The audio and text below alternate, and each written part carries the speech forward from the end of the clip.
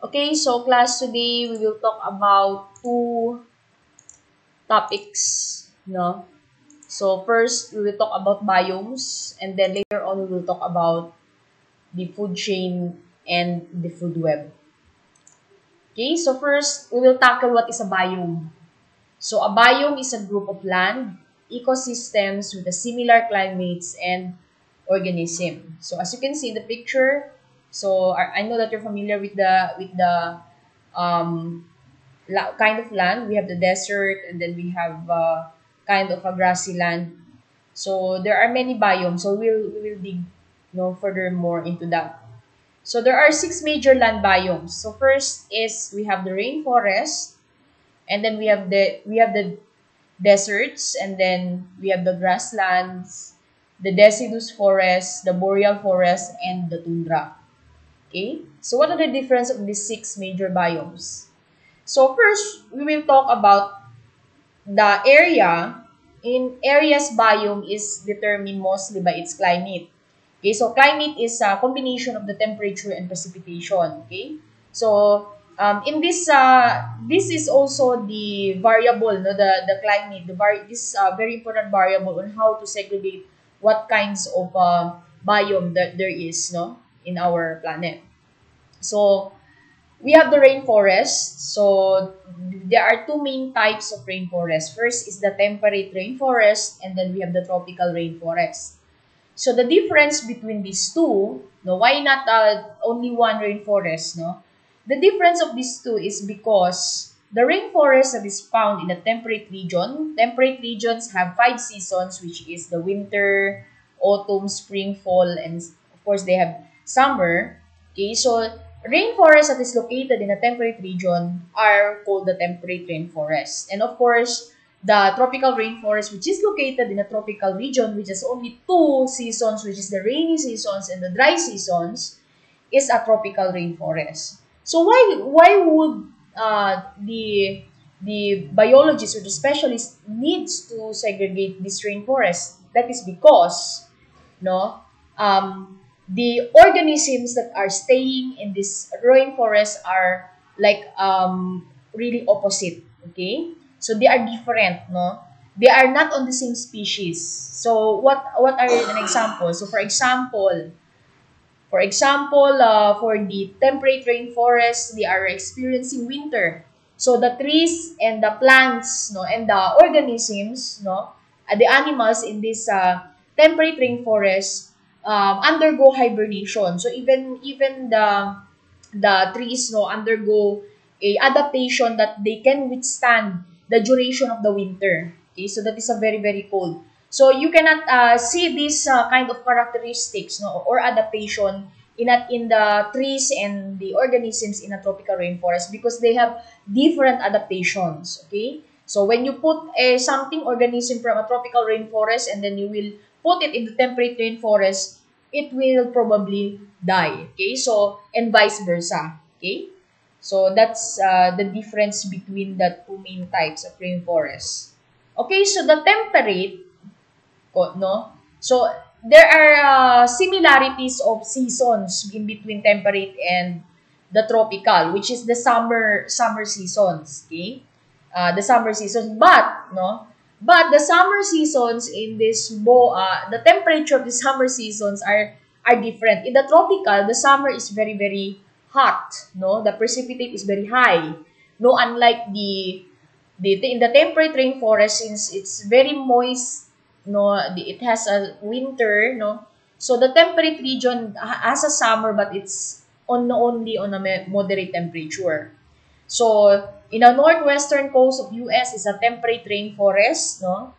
And then uh, because uh, United States is a con it's a very big uh, mass of land, so they have rainforest there. Of course, they they have a temperate um, climate, so that is a temperate rainforest.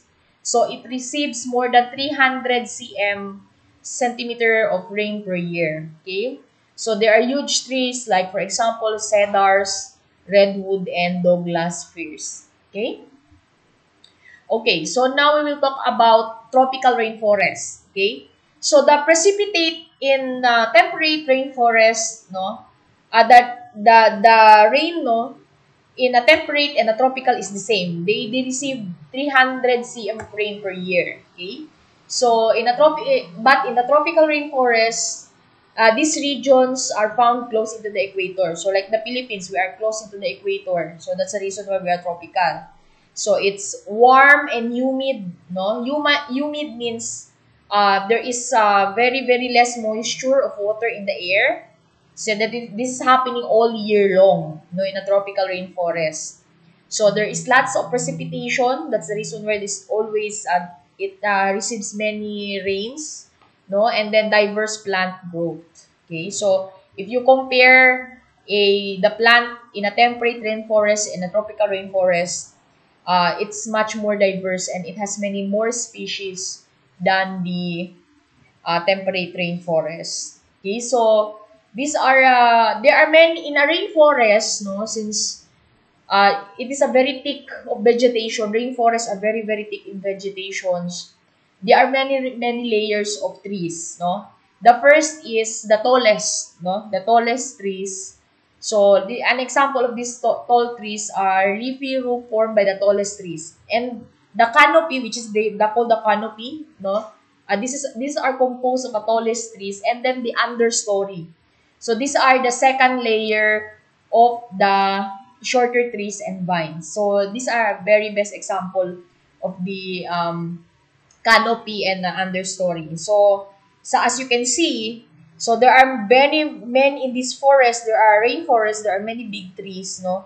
But the understory or the second layer is made up of weeds and smaller plants. Okay, so plants grow well in a shade formed by canopy so, but the forest floor is nearly dark and only a few plants live there. Okay, so that's a best, best example of this. So now we are finished in the rainforest. Now we will talk about the desert. Okay, so the desert is an area that receive less than 25 cm of rain per year. So just imagine, ha, the comparison in between the rainforest and the deserts. So the rainforest receives 300 cm of rain per year. That is when you compare that in the 25 cm, that is very, very few. No?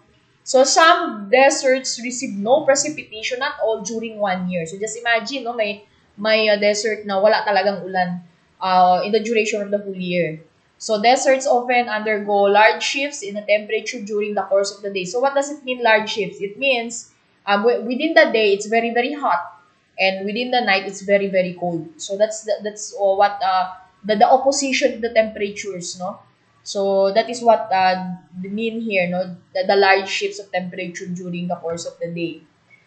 So an example of this, no, the, an example of an organism or uh, a living organism that is thriving to the desert is like this. Uh, um, the scorching Namib Desert in Africa cools rapidly after the sun goes down. Okay. And the Gobi Desert in Central Asia is cooler and even experiencing freezing temperature in winter. So just imagine, no, hindi natin i-expect that there are a desert that has winter, experiencing winter temperature.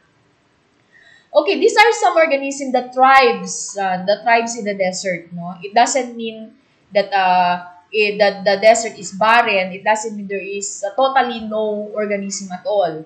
Um, miraculously, there is. Okay, So these organisms that live in a desert must be adapted to the lack of rain and extreme temperatures. Adapted means sanay na yan sila uh, na, na tumira sa desert, no? So, for example, like this uh, cactus. I know that you're familiar with a cactus plant. Okay, so this is an example of a saguaro cactus, no? Its, spe its stem expand to store water. So, when you uh, when you dissect or cut uh, cactus, you can see in the middle of it, there are many, many water. Actually, a majority of its uh, uh, body is composed of water because it is the adaptation of the cactus to preserve more water no? in order for it and in the times that there are no rains total totally no they have a deposit in their own body no, that, that they can use of course uh, in the case of the cactus it's a photosynthetic uh, organism it can use the water that it uh, it has reserved in a photo photosynthesis to make uh, food on for itself. And then the other one, we have the Gila monster. So this these are here at the left, uh, uh, in that at the left, no, of the slide, side of the slide.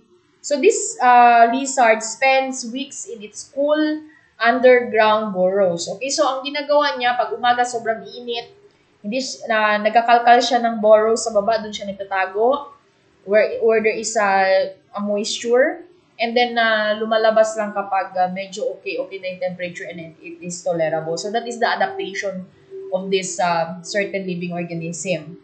So many other organisms are only active at night when it is cooler. So um, majority of the organisms no, that is uh, residing in the desert are more active at night. So they are more probably nocturnal. So nocturnal are the organisms that is uh, active at night and uh, sleeping during the day or they are not uh, active during the day. Okay, so we finish on the desert. So now we will proceed on the grasslands. So what is a grasslands or the prairie? Okay, so it's called prairie. So an area that is most uh, that is populated mostly by grasses and other non-woody plants. Okay, so uh, in its name alone, grassland. So the lands that are many many grass. So in this uh, in this uh, territory, no, in the in the grassland, it receives 25 to 75 centimeters of rain per year. So it is okay, no, if we will just compare it to the desert that it's receive only 25 cm of rain per year or sometimes or sometimes in a whole uh, year there's no no rain at all. Okay? So fire and droughts are common. So fire and droughts droughts no in the grassland are common. Why fire? Because uh, when this grass no dies, so these are susceptible to to heat no and then later on when uh, a stalk no um, if it is there is a very extreme heat it can uh, cause fire so it tat um tatakbo lang yan ang ano to tawag. Once na yung plant masyadong dry so madaling mag-catch fire yung yung weeds na patay na. Okay so these are common in the grasslands.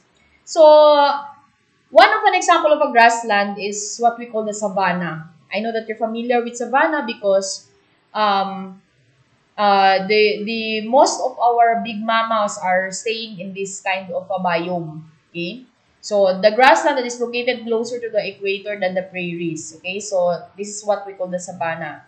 So savannas can receive as much as 120 cm of rain per year. So in addition to grass, scattered shrubs and small trees can grow in the savanna. Okay.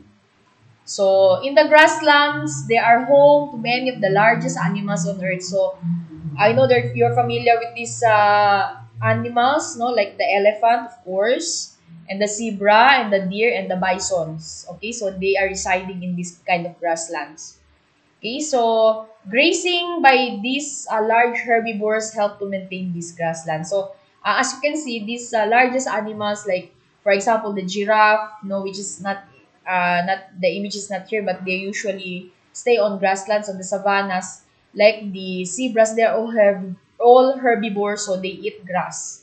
So because of them, they can uh, they can control no the grass that is uh, um, growing into the area.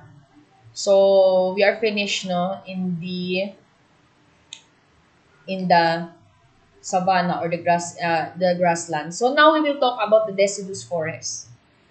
So the deciduous forest, ma'am, anong pagkakaiba nito sa rainforest?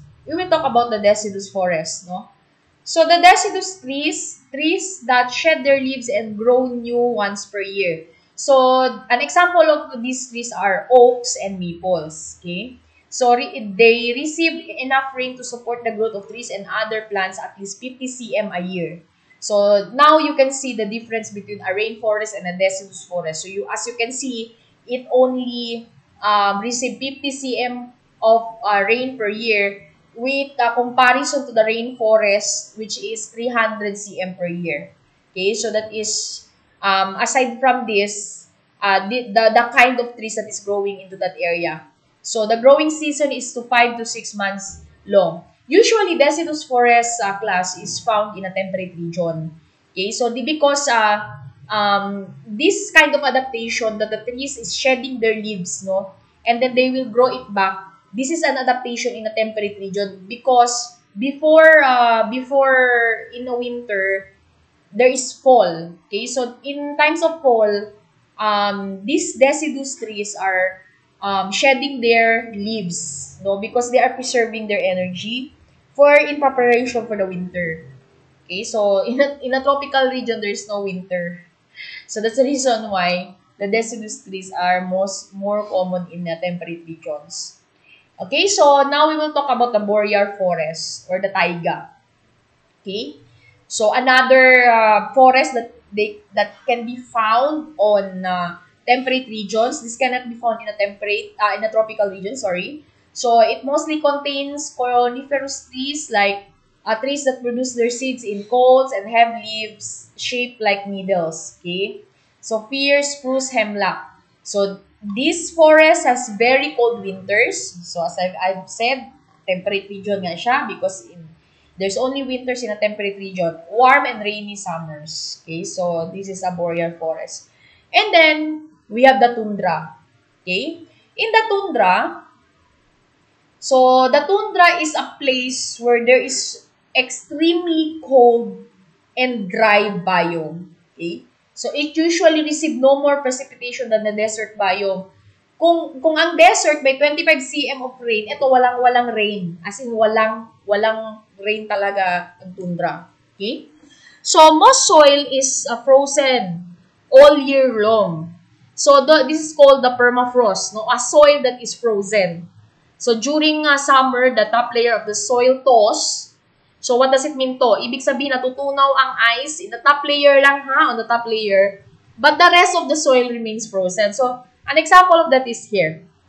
So, look at the image at the uh, uh, at the left, no? So, as you can see, the soil is frozen underneath the surface soil. Okay, this, this is the surface, so there's grass there. But, underneath, that is uh, uh, solid uh, frozen soil. Okay, so this is another another example of a permafrost. Okay, as a solid frozen soil. So on the top layer, no, on the top layer, that is uh, the the ice melts there, but in the inner, the second layer, it's not. So it's very very cold because it's solid freezing soil. So because rainwater cannot soak into the permafrost, there are many shallow ponds and marshy areas of the tundra during the summer. Okay? Okay. So, these are an example of tundra plants and animals. So, we have the wolf and we have the reindeer. Okay, and then we have the polar bear, the Arctic fox, and the Arctic hare. So, as you can see and you can observe, These are all animals that you know that is living on a frozen on a frozen land. So this is tundra. Okay, so that will be the end of the biome topic.